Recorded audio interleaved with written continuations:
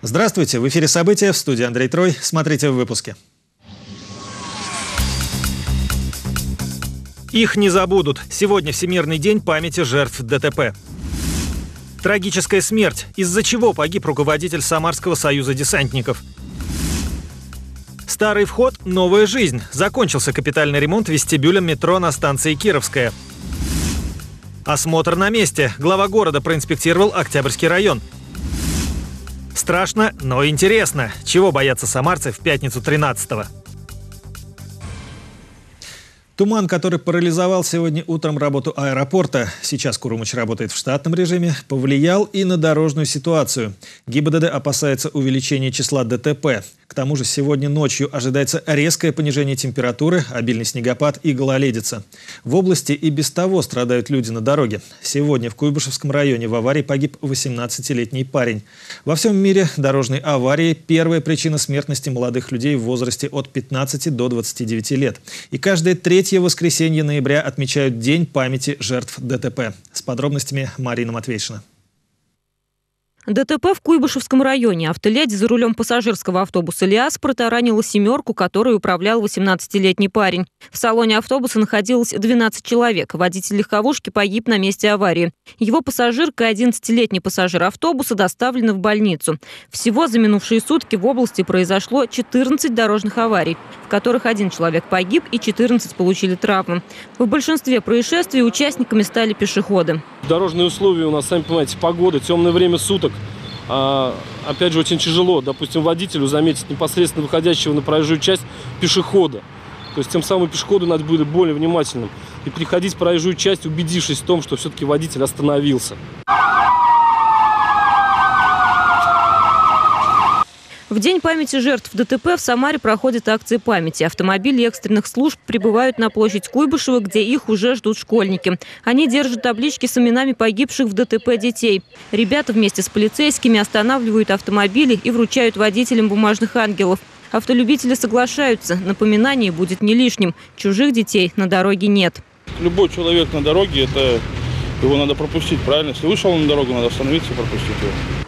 Не только водители, но и сами пешеходы часто подвергают себя опасности, говорят полицейские. Мгновенно остановить авто водитель не сможет, потому соблюдать элементарные правила – обязанность каждого человека. Переходить дорогу только по зебре и только на зеленый свет. Нехитрые правила, которые мы знаем с самого детства. Они и помогают нам сохранить жизнь. Но сейчас добавились еще одни немаловажные. Лучше все-таки вытащить наушники из ушей, а телефон убрать в карман. Марина Матвеевна, Станислав Левин. События. Погиб руководитель Самарского союза десантников Виктор Калиничев. Трагедия случилась сегодня, около 4 часов утра. Во дворе дома загорелся автомобиль «Ховер», принадлежавший Калиничеву. Владелец бросился его тушить. Когда прибыли спасатели, мужчина уже скончался. По предварительной версии, он отравился продуктами горения или же погиб от взрыва баллона. Проводится проверка. Виктор Анатольевич был председателем правления Самарской региональной общественной организации «Союз ветеранов воздушно-десантных войск и войск специального назначения», управления, которую сам же и создал. 20 лет он прослужил в вооруженных силах. Служил в Афганистане, в Германии. С 84 года в Самаре, в 65-м мотострелковом полку. Имел ордена за заслуги перед Родиной и Отечеством. По его инициативе в Самаре 24 октября стали отмечать День спецназа. Виктору Анатольевичу было 57 лет. Губернатор Николай Меркушкин и глава Самары Олег Фурсов выразили глубокие соболезнования родным и близким, коллегам и сослуживцам погибшего. Больше 30 лет на службе Родине. В городском управлении МВД открыли мемориальную доску в честь первого начальника самарской милиции Константина Кременского, который возглавлял управление с 80 -го года по 96 -й. Свою работу в милиции Константин Иванович начал с участкового инспектора. Год за годом службы, доказывая свой профессионализм, он был выдвинут на должность заместителя руководителя УВД Куйбышевской области, а затем стал начальником созданного в том числе и по его инициативе УВД Куйбышевского горосполкома. В этой должности полковник Кременсков проработал почти до конца жизни. Его не стало 13 января 1997 года. Сегодня о нем вспоминали бывшие коллеги, а также глава Самары Олег Фурсов, который был лично знаком с Константином Ивановичем. был очень скромным человеком и в быту, и в поведении, на работе. Но сейчас мы таких людей называем героями. И, вы знаете, Константина Ивановича всегда отличали такие качества лучшего советского офицера, лучшего советского милиционера, как бескорыстность, как честное служение. Человек, который знал и понимал предмет, которым он занимается, знал досконально все тонкости и все особенности нашей милицейской службы, который принимал эффективные управленческие решения все силы на благоустройство. Масштабное преображение Самары становится похожим на стройки первых пятилеток. Впервые за 30 лет задача навести порядок в рекордные сроки обозначена как стратегически важная. Сегодня свой рабочий день Олег Фурсов начал с поездки по Октябрьскому району. Вместе с главой города в утренний рейд отправился Олег Зверев. Октябрьский район одно время назывался Сталинским. Это было в 50-е годы. И тогда по благоустройству он был признан лучшим в Союзе. С тех пор минуло 60 лет. И сегодня задача стоит не менее амбициозная – сделать район современным, чистым и благоустроенным. И первый разговор главы города о грядущих переменах с дворниками. Именно от них во многом зависит, удастся ли реализовать смелые планы. Трудно рассчитывать на результат, когда работают 5 единиц техники, шлиговые веники и зарплата в 12,5 тысяч рублей. Тем более, что об этой профессии Олег Фурсов знает не понаслышке. Я вам скажу, я работал дворником, когда был студентом, да, у меня был самый чистый двор вот здесь, в Октябрьском районе, на Мичурина. Самый чистый был двор. Я даже летом поливал, единственный из дворников, поливал тротуар. Но я хочу сказать, что я вот очень большое внимание уделяю благоустройству города. Не все, конечно, получается. Там последние 30 лет, вы знаете, не так много внимания этому уделялось. У нас с вами и газоны все такие, да и газонами назвать нельзя, и на них накопления вот эти грязевые, многолетние. Мы, конечно, чистим все это потихоньку, справляемся. К 2018 году мы должны с вами вообще город привести в такой европейский вид, чтобы гордиться и радоваться. Мечта каждого дворника – хорошая техника. В этом году на марш выходит порядка 100 единиц новых коммунальных машин. В планах у городских властей закупить еще. Есть возможность получить весомую скидку, если управляющие компании объединятся и закажут оптом. Собрать заявки поручение Департаменту благоустройства. Главная улица Самара уже приводит в порядок. Настало время идти во дворы. И тут уже задача для районных властей, которые должны обозначить слабое звено и устранить недостатки. Этим надо заниматься. И районы обладают достаточным потенциалом. Нужно желание, нужно умение работать не в кабинете, а на улице. Вот, и тогда с мертвой точки все это будет сдвигаться. Очень много сделано в этом году. Хочу поблагодарить ВТМП благоустройство и тех людей, которые занимаются значит, руководством дворниками, там, самих дворников. Много очень сделано, но недостаточно. Перемены в Самаре жители уже успели оценить. Ну так-то вроде бы нормально. Ну, хотелось бы, конечно, чтобы вообще было красивее. Летом, чтобы было больше цветов. То очень-очень мало. И чтобы больше высадить деревьев. В 2016 году зеленых насаждений станет больше. Кроме того, стартует городская программа «Цветущая Самара». Олег Зверев, Григорий Плешаков. События. Экономия бюджета, развитие транспорта и внешний облик Самары. Самые важные темы обсудили сегодня первые лица города с почетными гражданами. На встрече побывала и Марина Матвейшина.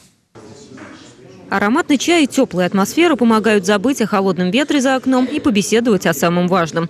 Глава города и председатель Гордумы обсуждают с почетными гражданами судьбу Самары.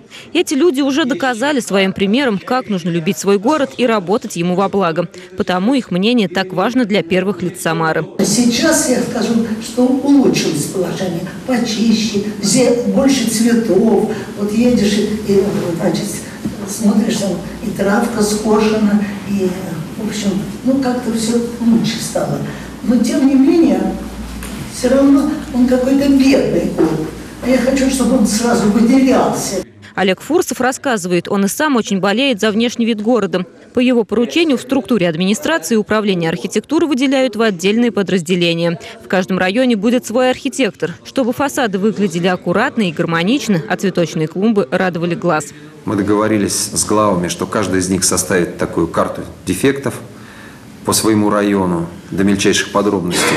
И на основе этой карты будет выработан план мероприятий, э, разбитый там календарно с указанием ответственных, и потихонечку начнем ситуацию это выправлять, выправлять, выправлять. Глава города рассказывает почетным гостям о работе, проделанной за год, а председатель Гордумы Галина Андреянова о том, как работает депутатский корпус. Среди народных избранников многие впервые занялись законотворчеством. Она просит поддержки в этой работе у почетных граждан. Мне бы очень хотелось, чтобы вы поделились своим опытом и передали этот опыт по взаимодействию с жителями, по работе общественных приемных нашим сегодняшним депутатам. Они готовы все это взять. В завершении встречи общие фотографии и договоренность встречаться регулярно. Марина Матвеевна, Станислав Левин. События. Событие, которого ждали 15 лет. В Самаре закончился капитальный ремонт одного из вестибюлей станции метро «Кировская». Здание не эксплуатировали с 2000 года. Первыми пассажирами стала наша съемочная группа. Отполированный мрамор на стенах, новые стекла и батареи. Примерно так выглядела «шайба», как называют вестибюль сотрудники метрополитена в 1987 году. Марина Сверидова работает здесь почти с самого открытия. Обновлением, признается, рада. 15 лет назад этот вестибюль я закрывала. И через 15 лет вот ровно пришлось его открывать. Ощущение, конечно, очень-очень великолепный. Даже просто вот выходишь на улицу, и люди сразу спрашивают, когда откроется вестибюль. Все уже ждут прям вот очень. С уверенностью можно сказать, наша съемочная группа – это первые пассажиры, которые входят в этот вестибюль за последние 15 лет. Во время капитального ремонта позаботились и о маломобильных гражданах. Одна из дверей на входе и выходе шире на 20 сантиметров. Позаботились и о безопасности пассажиров. В зале установлены камеры видеонаблюдения, металлодетектор и досмотровая комната, оснащенная всем необходимым. Но основной ремонт касался эскалаторов. Именно у них в 2000-м истек срок эксплуатации. На их ремонт потратили 27 миллионов рублей. Самая главная работа была для нас – это капитальный ремонт эскалаторов, который занимал у нас 9 месяцев. Также проведен комплекс работ по замене инженерных сооружений, по укреплению фундаментов, блок служебных помещений.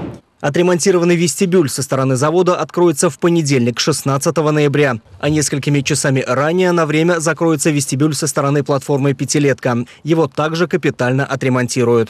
Павел Баймаков, Евгения Кондольская, Алексей Золотенков. События. Остаться голодным. Организаторы чемпионата мира по футболу 2018 года обещают, такого не случится. Ни в прямом, ни в переносном смысле. Уже сегодня началась работа по подготовке самарского общепита к спортивному празднику. Телеканал «Самара ГИС» продолжает показывать серию репортажей «Самара в игре». Все о местной кухне под футбольным соусом в репортаже Сергея Кизоркина.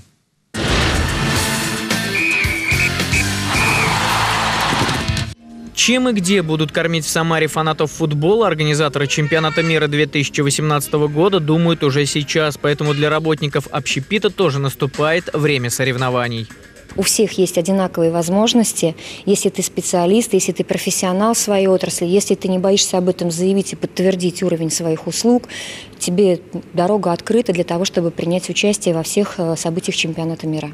В одном из городских ресторанов готовы вкусно и изысканно накормить иностранцев. Немаловажный момент.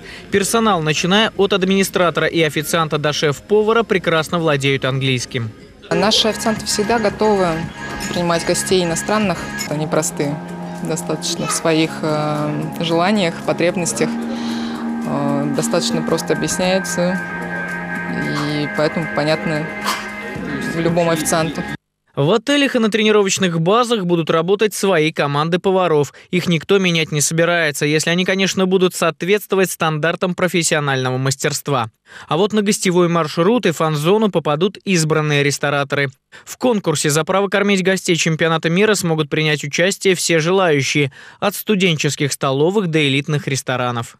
К отелям действительно предъявляются требования, что они должны подтвердить свои категории, звезды, пройти сертификацию. То к сфере общественного питания более лояльный подход.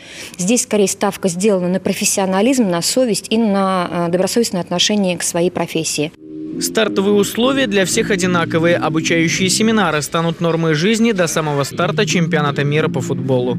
Она будет вестись и далее на протяжении оставшихся двух лет перед чемпионатом мира. Мы готовы э, рассказывать, мы готовы э, объяснять, какие требования нужно выполнить. Но, опять же, требование достаточно жесткое, на мой взгляд, слово. Есть пожелание. Главное требование к футбольной кухне – разнообразие. Это касается как быстрого питания, так и высокой кулинарии.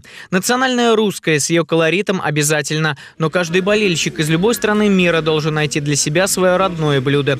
Еще одно условие – меню будет дублироваться на английском языке. Сергей Кизоркин, Артем Сулайманов. События. А теперь коротко о других событиях дня.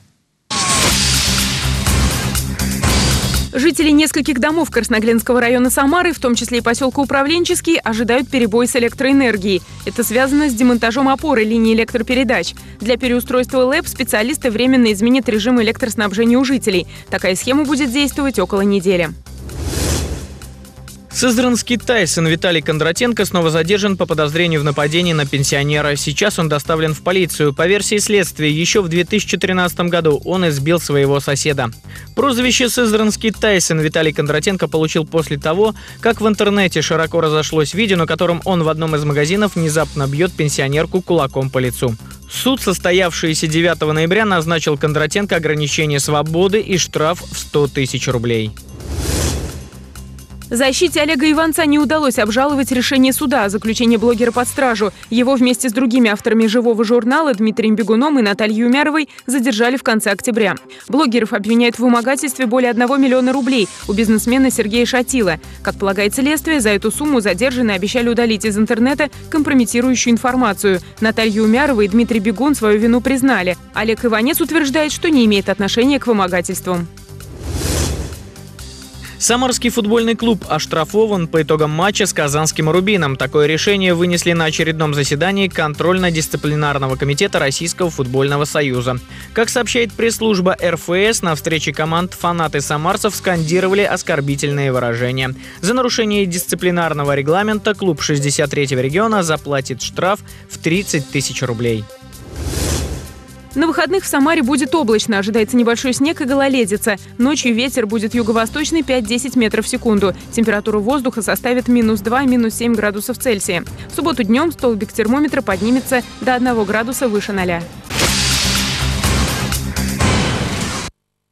За творческие инициативы и проявленный профессионализм журналисты телеканала «Самара ГИС» отмечены благодарственными письмами главного федерального инспектора по Самарской области. Наши коллеги проявили себя при освещении работы молодежного форума «Иволга». В этом году в «Иволге» приняли участие порядка двух тысяч человек со всей России, а также из Китая, Португалии и Швейцарии. Самарская область стала лидером по количеству победителей молодежного форума и по числу финалистов конкурса грантов. Грантовый фонд «Иволги-2015» 15 – 8 миллионов рублей. В общей сложности на реализацию стартапов нашего региона направят 2 миллиона рублей. Иволга – это замечательный проект, который дал очень много знаний, которые можно было применить в своем проекте, а, очень много людей, с которыми можно было пообщаться, с которыми в обычной жизни никогда бы не увиделись. А, ну и, конечно, стартовую площадку для реализации проекта. Сегодня волнующий день для всех суеверных. Пятница 13. Это уже вторая роковая пятница в этом году. Предыдущая была в марте.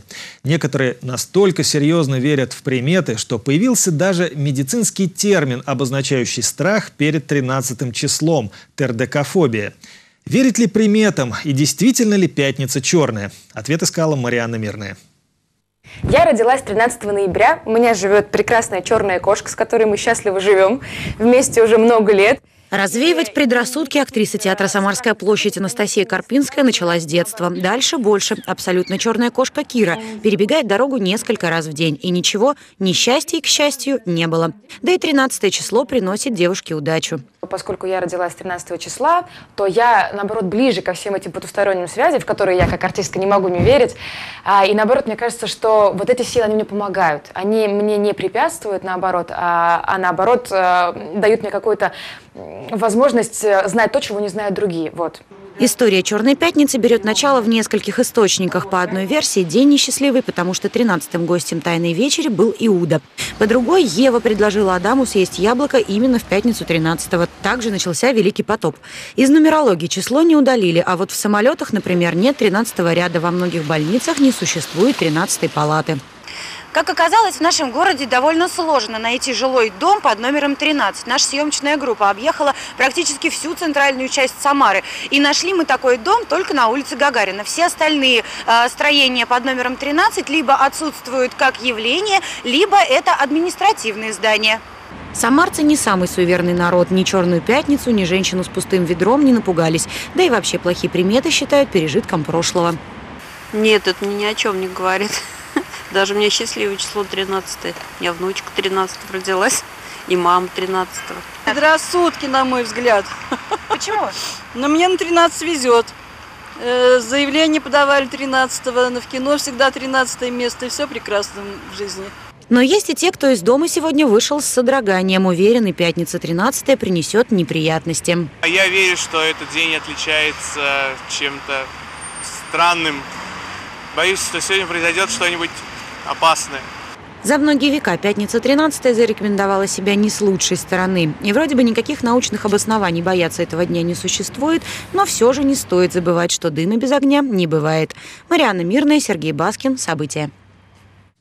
Сейчас я вижу какую-то тень за дверями студиями, так что если вы не увидите меня после новостей спорта от Сергея Кизоркина, знайте, к нам Джейсон Вурхес заходил. Здравствуйте, я Сергей Кизоркин, и значит вы смотрите «Самарские новости спорта». Самарская комета взлетела на пятое место в молодежной хоккейной лиге. Очередную серию домашних матчей в молодежной хоккейной лиге местная комета провела успешно. Две игры, две победы. Сдался «Металлург» из Оренбургской области. Надо всегда быть быстрее соперника, хитрее. Первая игра прошла под диктовку кометы после второго периода 3-0, однако Столивары собрались с духом и довели матч до серии булитов. Штрафные были лучше исполнены самарской командой. Счет 4-3 в их пользу. Все зависит от мастерства и капельки везения. Сделав работу над ошибками, второй матч самарские хоккеисты провели более грамотно и без труда раскатали «Металлург» 6-1. Много не получалось. Глупое удаление. Немного не повезло нам. После домашнего успеха «Комета» поднялась с седьмого места на пятое в Восточной конференции молодежной хоккейной лиги. Следующая игра с лидером чемпионата страны Челябинским Мечелом. Это были новости спорта от Сергея Кизоркина. Будьте здоровы и занимайтесь физкультурой.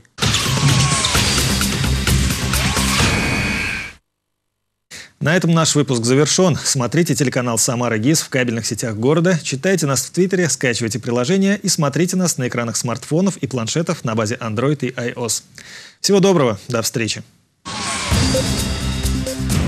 Thank you.